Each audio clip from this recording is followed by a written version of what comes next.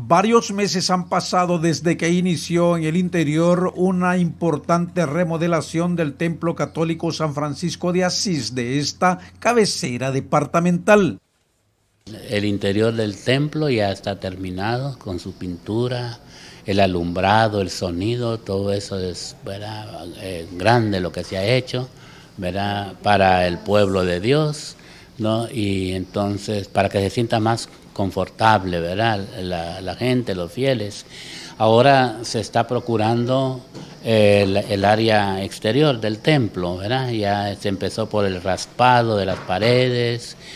Una cuadrilla de trabajadores, luego de hacer mejoras en el interior, pasaron a la parte de afuera del templo para rellenar y cubrir aquellos espacios que por el paso del tiempo deterioraron poner pues no sé el, remedio donde hay humedad donde hay eh, comején lo que fuera verdad una buena mm, asistencia verdad para para luego poner la pintura verdad y se lo se hace y ahorita en el tiempo seco verdad de verano para que seque bien la pintura Aún no se conoce cuáles serán los colores que aplicarán en las paredes laterales y en la frontal. De lo que sí tienen seguridad es que la obra quedará terminada antes que llegue el invierno.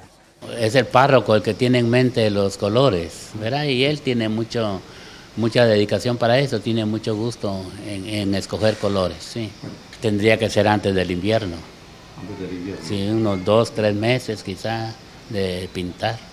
Como ellos trabajan eh, de la mañana a las 6 de la mañana hasta las 2 de la tarde, pues se está pidiendo y se están haciendo algunas algunas rifas, ¿verdad? cosas así por el estilo.